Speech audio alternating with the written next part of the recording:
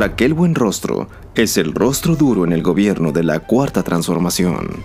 Su carácter y su actuación como oficial mayor en la Secretaría de Hacienda le valieron ser llamada la Dama de Hierro, o como algunos todavía se refieren a ella dentro del gabinete, la otra secretaria de Hacienda, y enviada como jefa del sistema de administración tributaria, mejor conocido como el SAT, Buenrostro ya se apuntó tres grandes victorias con nombre y apellido. Carso, Walmart y FEMSA.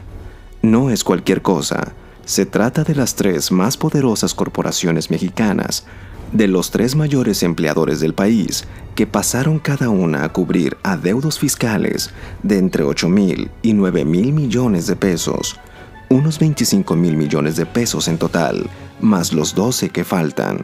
Y aunque desde afuera y desde adentro se cuestione su dureza, lo cierto es que Buenrostro le ha cumplido dos promesas clave a su jefe, el presidente Andrés Manuel López Obrador, gastar menos y recaudar más. Por eso llama la atención que frente a lo implacable de la Dama de Hierro se estén cuestionando en el SAT licitaciones que presagian serios litigios por lo cuestionable de sus resultados. Para muestra, ahí está la licitación de impresión y digitalización del SAT, y que se convertirá en una denuncia de inconformidad. En un inicio, se hizo una primera licitación en la que solo participó Acerta Computación Aplicada en consorcio con otra empresa, equipos y productos especializados. Cotizaron 1.470 millones de pesos masiva, pero el fallo se declaró desierto porque no se cumplía con lo solicitado vino una segunda licitación, bajo estudio de mercado, en las que participan tres consorcios, Hewlett Packard, bajo la razón social Computing and Printing México, Mainbit y de nuevo, Acerta Computación Aplicada. El SAT podía adjudicar con base al estudio de mercado, pero en áreas de transparentar el proceso el 14 de mayo, abrió las bases para invitar a cinco empresas más que calificaban para la licitación.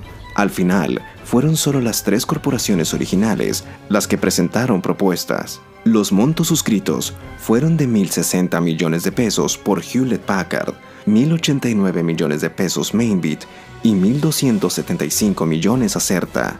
Pero el fallo se le otorgó a Certa, que aún reduciendo casi 200 millones de pesos de su primera licitación, fue 20% más cara que la de Hewlett Packard y 17% más cara que la de Mainbit. El director general de Acerta, el consorcio ganador, es Santiago Rodríguez Valencia, quien hasta el 2013 fue administrador central de telecomunicaciones y tecnologías de la información en el SAT durante el sexenio de Enrique Peña Nieto. ¿En dónde quedó aquello de que quienes trabajaron en una dependencia no pueden convertirse en proveedores de esa misma dependencia por lo menos en 10 años después de dejar su cargo? El caso involucra a la Administradora Central Jurídica para Contratos de Tecnologías de la Información, Lourdes Sánchez Vicencio, que operaba bajo el mando de Ulises Moreno, director de recursos materiales del SAT en el sexenio de Enrique Peña Nieto y que sobrevivió a la cuarta transformación.